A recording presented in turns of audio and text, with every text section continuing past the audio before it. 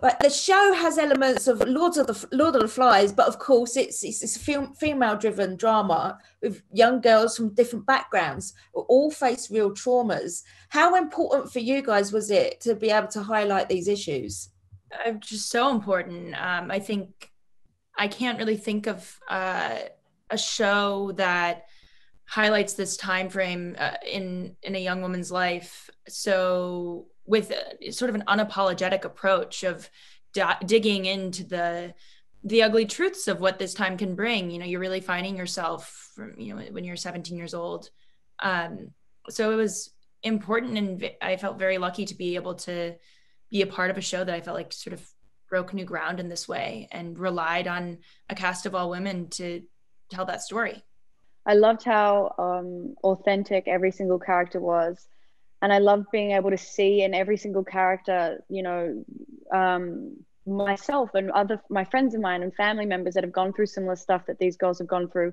And it made me really excited to be a part of the storytelling so that people can watch this and just feel a sense of like, I don't know if validation is the right word, but a certain sense of like, you know, seeing themselves rep- represented and not feeling like they're crazy or out of place and just, you know, you know making it clear that this is normal and that it's not like people aren't alone. I think that's really important to me. Also you've also there's so many different personalities and characters that working together. Um was there any point you know there was there's bound to be a few you know um, should we say disagreements on set? Or did you all get all was it big loving? Yeah I mean I, I think we were i was expecting it to be like I was expecting it to be like, oh, there's going to be some disagreements. There's going to be some some problems. Eight girls will know, you never know, Um, but we got along really, really well, and I think we needed each other because we were each other's support system.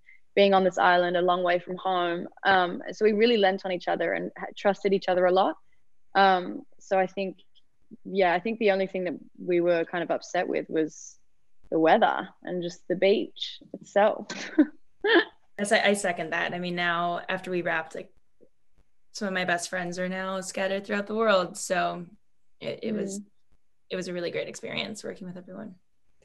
And mm. also, did this experience, you know, uh, open your eyes to a few more survival, essential survival skills? I think so. I think if I was trapped on an island, if you'd like throw me onto an island before filming this show and then after, I think it would have been two very different experiences. Um, I'm not really exactly sure how or why, but I guess the sense of like I could do this is now instilled in me where it wasn't beforehand. I think what I learned is uh, to get comfortable with like being uncomfortable, being cold, mm-hmm. being wet. Uh, I mean, you don't want to be wet when you're cold and stranded. Um, I know that. Uh, but yeah, I feel like it just got me used to shivering and being covered in sand and still having to do the thing. Um, mm. Yeah. Okay. Obviously, your, your both of your characters also, you know, you you touch on your issues are like around uh, surrounded by love, sexuality, uh, religion. Um, but these issues took you your characters down some dark routes at times. How do you prepare for that?